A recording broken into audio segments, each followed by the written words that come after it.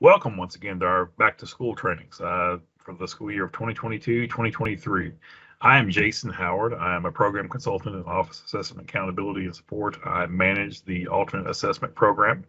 And I'm here today to uh, discuss the alternate Kentucky Summative Assessment and the items you need to be aware of for the um, back to school.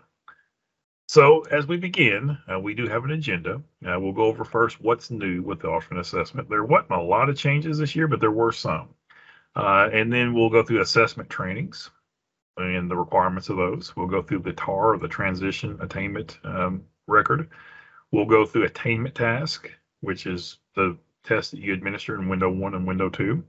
We'll go through those testing windows and when they are and when they occurred and the expectations for those. And then lastly, we'll go through the calendar um, for the alternate assessment. So with that, let's get started. So the first thing I want to discuss today are the upcoming changes for this school year.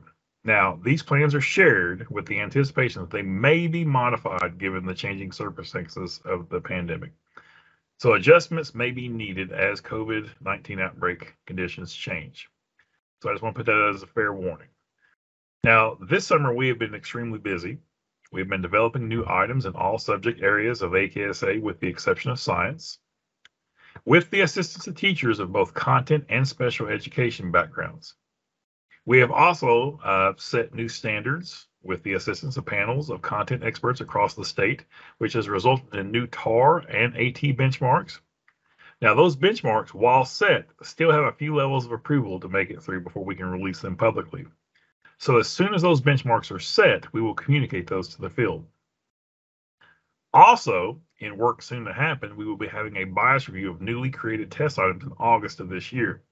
Now, this is a process where we convene not necessarily teachers, but community, industry, and other individuals to come look at test questions for bias. Now, a good example of testing bias would be how different regions of the state may refer to a soft drink. You know, some areas may call it a pop, others may call it a soda. So a good bias review would address issues like this. Also, a new change will be the alternate program calendar. Now, this takes all the dates for OAA, OCTE, and the data wings and compiles them into one calendar. So any significant dates for the AKSA, the TAR, the SRD, the CRD, the CWEC, or the ESAR will be communicated on this calendar. We will discuss more about this in a later slide. You will also notice at the bottom of the slide there is a link to resources our low incidence consultants have made to share with teachers across the state. Now these were made last year, but I'm going ahead and putting them out there again. Uh, these are instructional supports that can help in the day-to-day -day education of our children, Please share these valuable resources with your teachers. So now that we have covered the new changes for the upcoming school year, let's turn our attention to the layout for the assessment trainings.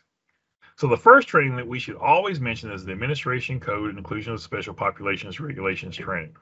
Now, both of these trainings would be required for anyone who administers the alternate Kentucky Summative Assessment. Also this year, the Overview Attainment Task Training will release around August 29th and must be completed by November 14th, 2022. Now, any teacher who will administer the alternate Kentucky Summative Assessment must take this training. For any high school teachers that will administer the Transition Attainment Record or the TAR, they must complete that training as well.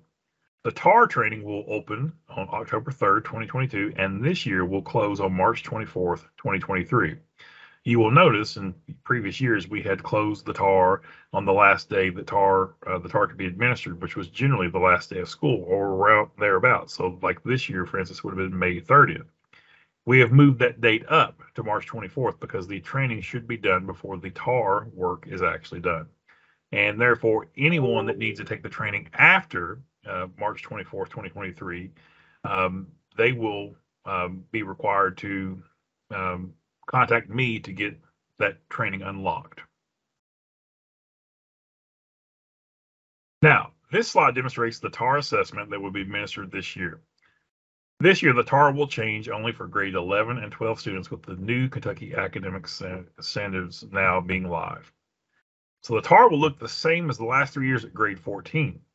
This slide represents the changes over the next two school years. The former assessments means that the TAR is based on the TAR we assessed the past three years. Please note this is the final year there will be two versions of the TAR. Beginning, beginning in 2023 uh, 2024 school year, there will be only one version of the TAR offered that covers the current Kentucky academic standards and Kentucky alternate assessment targets. Now, one final note on the TAR. As with all years, grade 12 students can retake the TAR if they did not meet benchmark. Now, this year, because seniors are given a chance to retake the ACT, all grade 12 students have the option to retake the TAR if they so choose. Now that we have discussed the TAR for the 2022-2023 school year, let's take a look at the Attainment Task Administration. Just a few reminders to share out. The first, as noted earlier, is that we will conduct an operational field test this year. It will be part of the accountability and it will remain two testing windows. Now, for those wondering, an operational field test is a test which has mostly operational items with only some newly created items within it.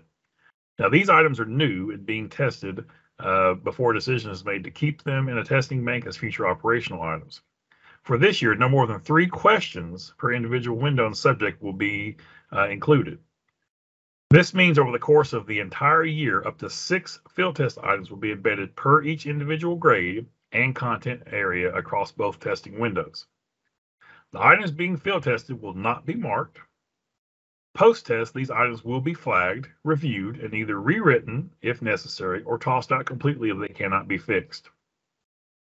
Now, the AKSA, both operational and field test components this year, are embedded into one single test, and that does count towards accountability. Now, this slide focuses on the content areas that will be assessed at the elementary level. One thing to note is that many schools have a different grade configuration. So your school may not be a three through five grade span. It may be a three through six, a three through four. The three through five grade span is used at the state level, and that is how we um, determine district accountability. Now, this slide reflects the required content areas being assessed at middle school. And finally, this slide looks at high school content areas to be assessed. If you will note in red, grade 9 and 12 no longer have attainment tasks administered at those grades. Now, on that note, please be aware that you will not receive test and or district and or school level binders for grades 9 or 12. This is a question we receive quite often. Schools and districts with at least one AKSA eligible student will receive a district and school level binder for tested grades only. By tested grades only, that means if a test is administered at those grade levels, which for 10 and 11 is the case. 9 and 12 are not tested. So there will be no binders at the school or district level for those students in those schools. Now we look at testing windows. So the operational field test will still consist of two testing windows. Testing window one will open November 14th and run until December 16th. During this window, there will be 15 items per content area that will focus on one specific group of standards. You can find which standards are tested by checking the grade level standards document on the KDE website linked above. They are broken down by content and grade level. Now, the window two assessment will open April 17th and will run until May 30th. During this window, there will be 15 items per content area.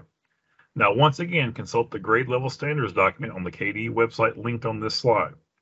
You can find which standards are uh, assessed during this window by consulting these documents. They are broken down by content and grade level. Now, when will you receive materials. So materials will ship and arrive based on the timeline shared on the slide. So materials for window one are expected to arrive in the district sometime the week of October 24th. For window two, we will continue to offer options as we have in the past based on the concept that spring breaks will still be available. Now, in late February, districts will be asked to select, select shipping option one or two based on when they will take spring break. As was done last year, if no selection is made, then the default selection will be made for the district, and that is option one. Materials for window two, the first option, will ship the week of March 27th. And window two, the second option, will ship the week of April 3rd. Now, what you've all been waiting for, the calendar. So this uh, slide shares the proposed dates for the 2022-2023 school year. Now, as noted in the past, these dates may be subject to change due to circumstances beyond the control of KDE. These are the selected dates available to be shared publicly at this time.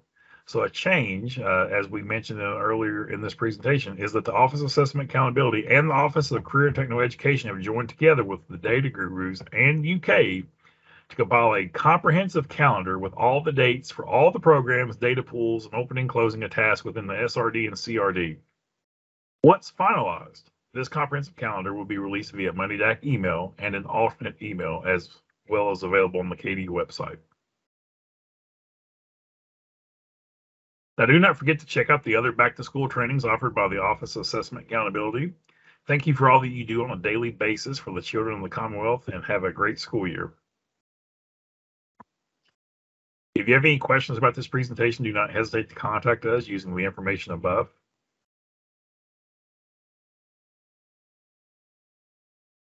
You and have a great school year.